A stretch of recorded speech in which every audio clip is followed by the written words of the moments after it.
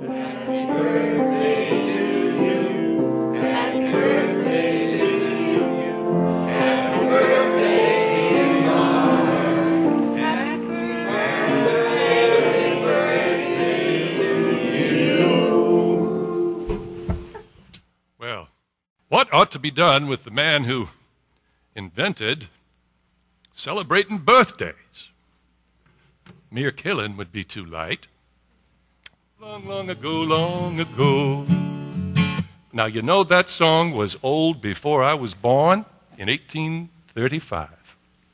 My elder sister, Pamela, taught me to strum the guitar when I was a boy growing up in Hannibal, Missouri. After our father died, I was 11, and she helped to support the family by giving music lessons throughout the town.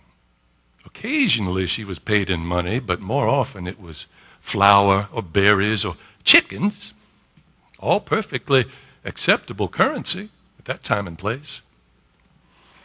How I miss her. I am the last living member of my original family. My mother and father had seven children, half boys and half girls. I was born I was born modest, not all over, but in spots. I was born with the most troublesome temperament, they told me. Well, it was in my nature to be different, dreamy, mischievous, a bit profane, and my parents failed to find any merits in those qualities. Well, my own mother, who, who loved me without question, always told me she thought that I'd end up hanging from the gallows. Well, I had nine near drownings as a boy. One occasion I recall, after being rescued from the water and carried home, my mother took me. She drained me out, saw that I would live, and then she said, Well, I didn't think there'd be much danger. People born to hang are safe in water.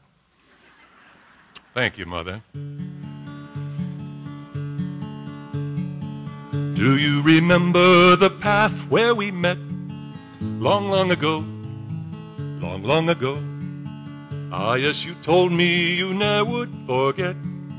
Long, long ago, long ago. Now, I really have to stop and thank you for attending and helping an old codger through an unexpected birthday. Well, I knew the day would arrive on schedule, but I had no intention of observing it, whether I was still above ground and breathing or not.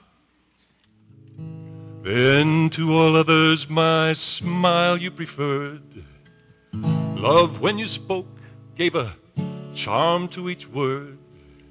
Still my heart treasures the praises I heard long, long ago, long ago.